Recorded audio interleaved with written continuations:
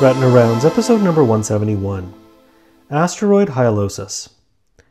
Vitrectomy for asteroid hyalosis is rarely necessary, but may be indicated for impaired visualization of the retina, even with alternative imaging modalities, for application of laser photocoagulation, such as PRP, or more rarely when the asteroid bodies are visually significant.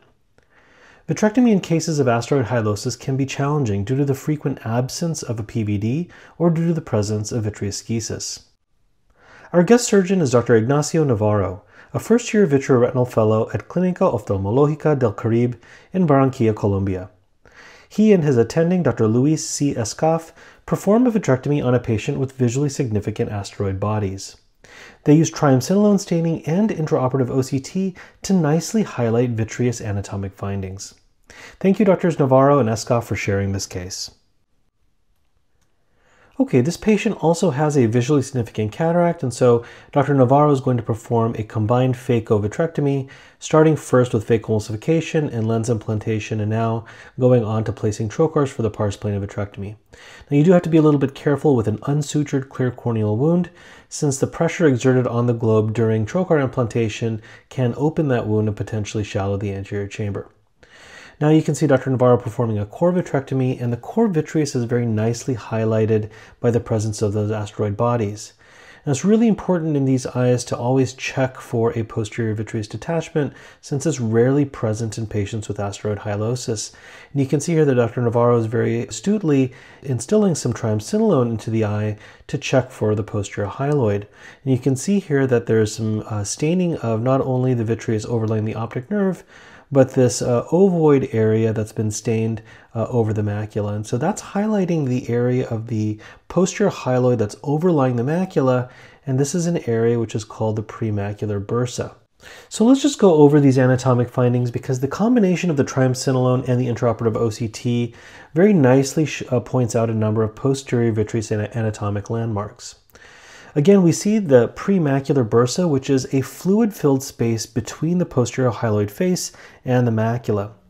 We also see Cloquet's canal, or the hyaloid canal, which is the path of the hyaloid artery during development in utero that remains as a space or remnant after the hyaloid artery retracts. And last, we see the space of Martegiani, which is the space at the posterior end of Cloquet's canal, which is also a remnant following hyaloid artery retraction.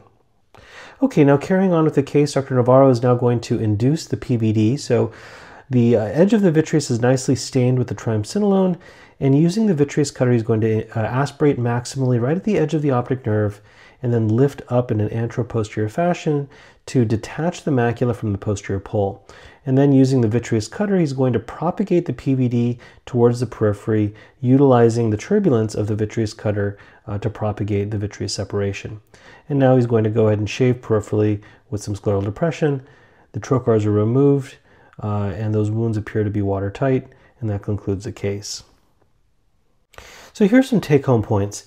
Asteroid hyalosis is rarely visually significant, and fundus evaluation can be achieved using fluorescein angiography, autofluorescence, and OCT. Now, indications for vitrectomy for asteroid hyalosis include uh, impaired retinal visualization, the need to apply laser photocoagulation, or if the asteroid bodies are visually significant, as was the case in this surgery. A PVD in eyes with asteroid hyalosis is rarely present, and PVD induction can be challenging. Additionally, the surgeon should be aware of the possibility of vitreoschisis. Staining with triamcinolone, as was demonstrated in this case, is critical to ensure that the PVD has been successfully induced.